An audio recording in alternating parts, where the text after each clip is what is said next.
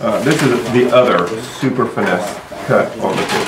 Um, as far as knife work is concerned, uh, not not the mouse meat, but but the H bone, which is what I'm kind of liberating right now. You gotta get the mouse meat out first. Correct. Yes.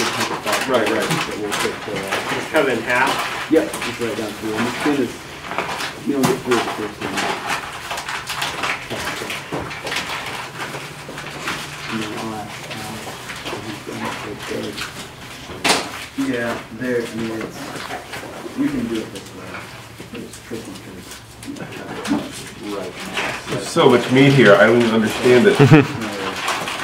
I usually try to do it every day. No, that just usually get turned into sausage. Yeah, yeah. I mean, it's it's such a random cut of meat that it's not like I said on, on almost any pig that we've ever done this with. It's not a serving of meat. It's not you wouldn't do anything dedicated with it. So we often will use it for the purpose of just you know feeding people the day of. That's just uh, but that's a nice, that's a really nice cut of meat, because it's tender.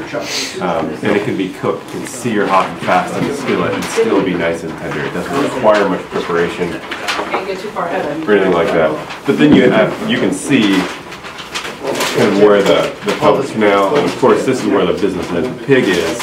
So Andy's demonstration here gives you a little bit of an idea of what's happening. And, and also would help if both halves of the pig were together, and you can see where this is, you get an idea what the pelvis is doing. But anyway, I'm gonna show you how to do this, Al, because I want you to do the next pig. This is You the, know it was cut properly. easily the trickiest part of knife work the Yeah, entire day. yeah. Uh, and it's it's getting this H bone out of here. H, You know, a whole bunch of it's things. I get really TCH, it's not the letter H. Yeah. Um, Well, show us how People wonder why it's called H. It's not the letter. yours Anyway, this, The this thing pelvis will go down uh, a few inches Yeah, that's what I mean. underneath the socket where the ball of the femur sits. But it goes. That needs to be freed out here. But it also goes all the way under the pelvis and it's connected to the spine. And the spine goes all the way back to the tail. So this guy comes out as one long, very complicated bone. It's very To amuse tiny. myself, it's not And it's not something that that is easy to do quickly, uh, at least not for us. We like to take our time. But One way to do it uh, is you don't ever bury your knife. You never like you never plunge into this. Because if this is going to be a prosciutto, for example, you don't want it to have punctures in it. So I want to be able to know that my knife depth is within reach. It's never like just searching around down there. And also, you want to hug the contour of whatever bone you're cutting.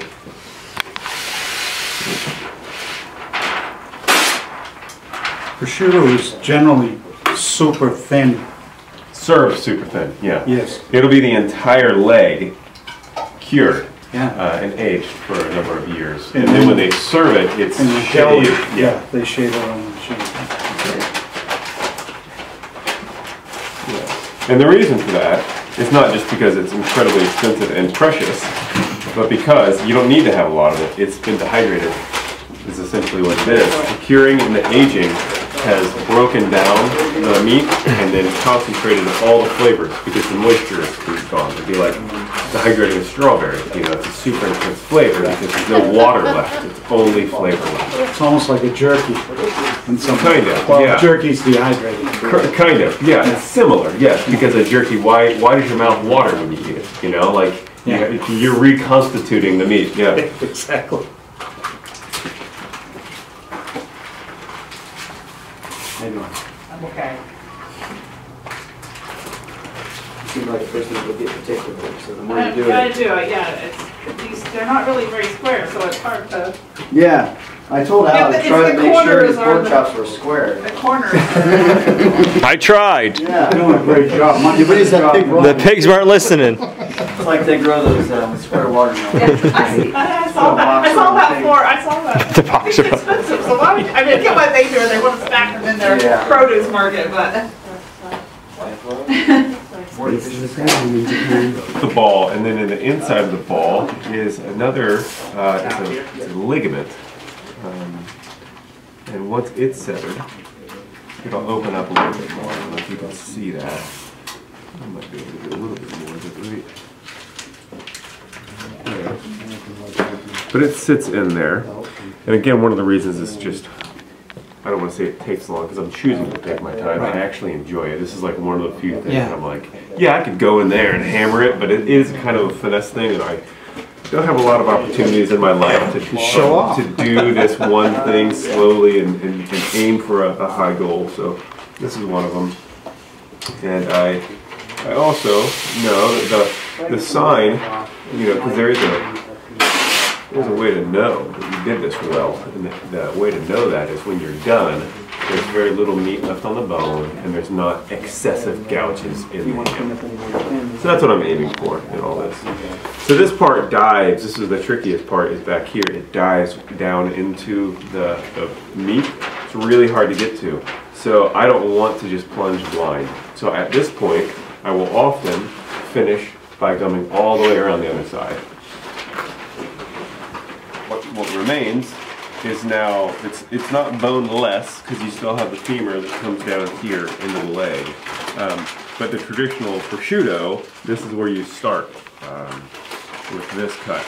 And then you trim it up from here, keeping the skin on, the hock on, the trotter on. All right, One day, it's going to be raw, but it will be years from now after it's fully cured and aged. Um, because it's never going to see an oven, it's never going to be cooked. Uh, we need to make sure that it's effectively cured. There are two ways to do that. One of them is to make sure that it does not have uh, places for pathogens or bacteria to hide. Any flaps of skin or, or meat like this need to be removed. We want it to be a clean, smooth surface.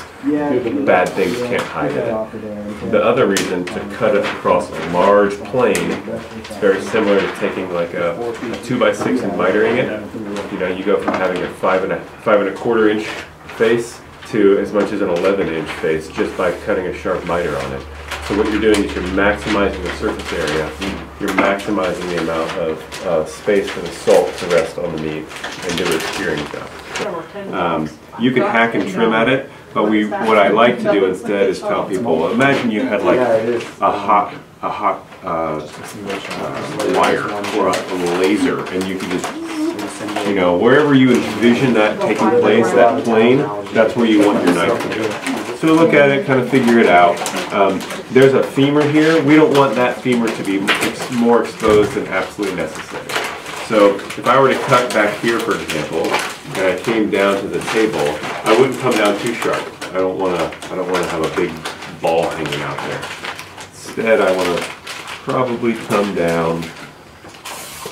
Oh, something like this. And a nice sharp knife just makes this enjoyable.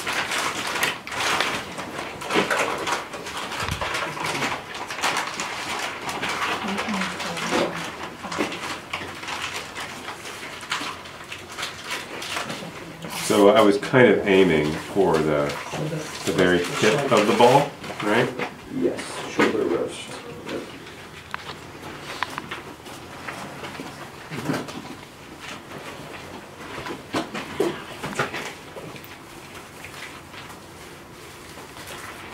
The only thing that's really sexy about this at all is that we know it's going to be prosciutto, otherwise it's just some guy hacking at a huge piece of meat.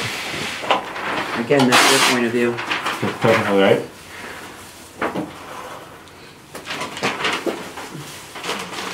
You'll see me, I'm not pulling the knife out, right? Because I don't want swipes.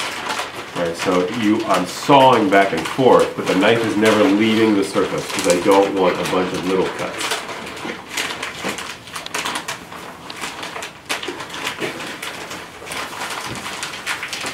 All right, we're getting somewhere.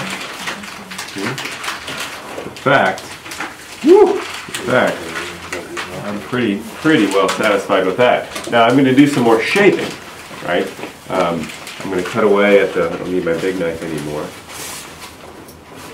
I'm going to cut away down here at the skin, just cause a nice rounded finish. If this is going to be hanging, um, this has not been determined yet. It's very possible that this is going to end up hanging in a prominent place in Al's home. He's gonna. He has. He has an uphill battle there, but I, I believe he fights the good fight. Uh, Love the bed. well, there is there is something about, um, you know, the, the aesthetic quality of this thing. You don't want it to be hideous, you know, if it's gonna be a year or two or more before it's ever touched. Um, you don't want it to be this kind of eyesore. You, you want it to be something that you're looking forward to. You want it to be something you can show off too. I was trying to go there, but obviously, Now that crater there, yeah, this one, That's that the is ground- unavoidable. That's, that's the part I said is the trickiest. Um, and it's because when this sat here like, yep, this, um, where am I? Uh, am I doing- there we go, thank you very much. Uh, this part has a, Yeah. a ball that sits way down in there, and I cut it as tight to the, it's, it's almost like cartilage, can you hear that? Okay. Do I need to, should I write? Right, it's, I cut it as tight as I could, and it's still, it still creates that crater. But even then, less is more. A situation like this, less is more. Ooh, it's nice. I'm liking that. Okay. And now all the cutoffs is for sausage, basically. Oh, all The that trimmings. trimming is sausage, absolutely. It's all great. Yeah, no waste here. I did not hear. No waste. Basically, just gonna cut this in. So, um, a couple things about this. Uh, I don't know if you guys remember me uh, mentioning that there is uh, often bloodshot where the neck is, and the other place that there is blood is in the leg, right? And, and we tried to pump the back leg while the pig was still laying there. 25, 30 second window after the shot in the brain, the heart and all the vitals are still functioning. While that heart is pumping, we want to get as much blood out as possible. We know that this is going to be destined for prosciutto. We know that it's going to age and hang. There's no way for us to get all the blood out of it while it's still bleeding out. But we try to help that by pumping the leg as much as possible. We also know when we're here at the table, if we were to just put salt on this, we would be setting Kyle up for failure. We know that there's going to be blood along the femoral artery that runs along this femur here. So one last thing we'll do is actually try to milk the blood out of the artery now while we're at the table before we go anywhere else with this cut. Just grab it by the hock or the trotter and use my palm. And I know that I know about where it's going to be anyway, uh, so I can kind of cheat. But you, if you didn't know and you just continued to push on it, you would eventually see where the blood is. It's, it's not going to be over here. Yeah, exactly. um, not touching any meat, just the hat. Oh, okay. How do you know when you have it all? When it stops. Just Yeah. And if it was a really good bleed, and it was, like, this was a really good bleed in both pigs, um, just because we didn't capture all of it doesn't mean that it wasn't a Right. sufficient bleed. Um, so we already know that there shouldn't be a bunch in here anyway. At no point has there been blood on the table today. Right. This is a terrific.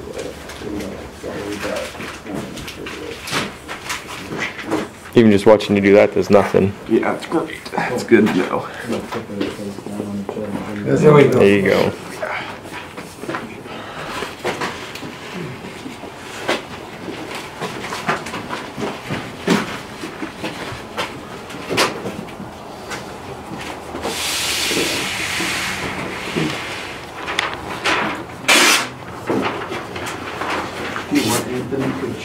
stroke Dennis a little bit. We've never had this. We've never had the opportunity to hang a prosciutto or age a prosciutto for more than, well, ever, for any amount of time, without there being a cut right here. We always cut the tendon. Mm-hmm. Always, always, always. Because we flip the pig around. and We have, we have to put a hook through there to hang it the other way. So when we do that, we pack this with salt, and we have to stuff salt here into this cut, and then we wrap it with cellophane. We've never had the opportunity to have a perfectly intact mm-hmm. trotter before. This is kind of exciting.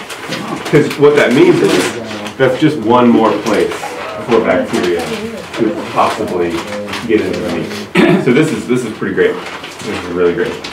In fact, Andy and I both, when we saw that, that was our first thought. That was the main benefit. Oh, look at that. was We're not gonna have to cut into the prosciutto. New piece of kit you need to get now?